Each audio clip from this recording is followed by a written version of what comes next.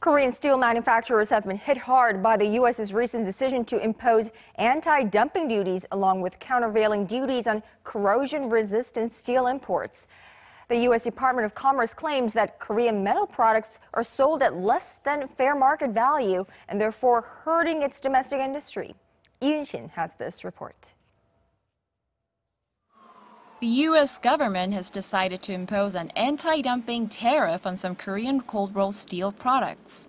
On Friday, the U.S. Department of Commerce decided Hyundai Steel will be subjected to 34.3% and POSCO to 6.3% of anti-dumping tax charges for their metal products. Along with the anti-dumping tax, a 58.4% of countervailing duty will be imposed on POSCO and a 3.9% on Hyundai Steel.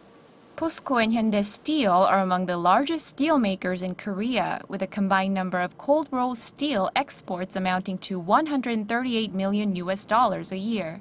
The cold rolled steel technology is vital to a wide variety of industries such as automobile, electronics, and construction.